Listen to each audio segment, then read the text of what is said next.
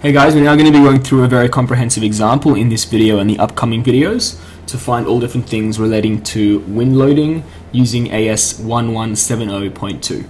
So, the things we're going to be looking at is finding something called the design wind speed, V subscript des comma theta. We're going to be finding the wind pressure on the windward, leeward and sidewalls and roof, ignoring area reduction and combination factor.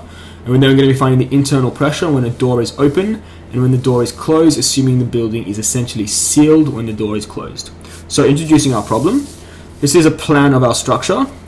It's This is the north orientation over here. It's 10, 10, 10, so it's 40 meters by 8 meters, and we have a door over here, which is 5 meters wide by 2 meters high.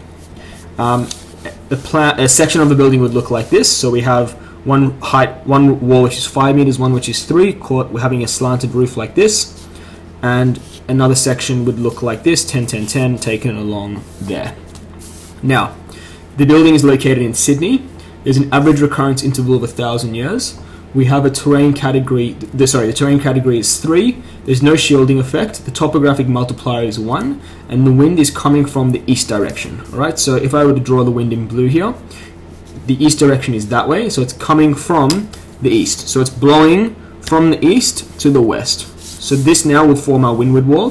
This is going to form our leeward wall. And these are going to be the side walls over here. So just in this video, we're going to be looking at finding the design wind speed. So the design wind speed, V des comma theta, is calculated as the maximum of the site wind speed. Okay, so V site comma beta is known as the site wind speed. So it's going to be the maximum of the site wind speed, which is VR, MD, MZ, CAT, MS, MT. Okay, that is from section 2.2 on page 9. So if I show you where that's from, I've taken that from the site wind speed, V site, comma beta, is equal to VR, MD, MZ, CAT, MS, MT. Okay, so we're going